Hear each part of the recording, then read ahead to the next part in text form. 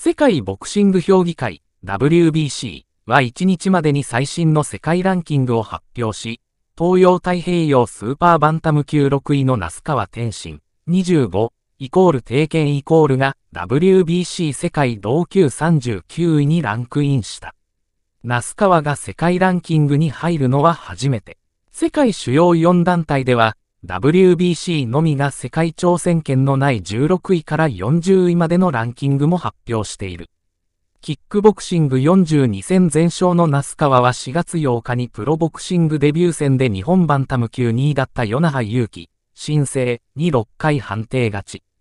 9月18日の2戦目ではメキシコバンタム級王者のルイス・グスマン、メキシコに8回判定勝ちした。次戦は来年1月下旬に大阪開催を予定している。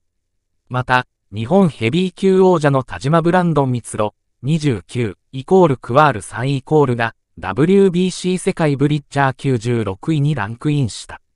ブリッジャー級は2020年11月に WBC が新設した階級で、契約体重が200ポンド、約97キロから224ポンド、約101、6キロの間、クルーザー級とヘビー級の間に位置する。田島はプロ10戦の最低体重が10月の前戦の114、6キロだが、今後はブリッジャー級での戦いも選択肢に入ってくる模様だ。プロ戦績は那須川が2戦2勝、田島が10戦10勝、8KO。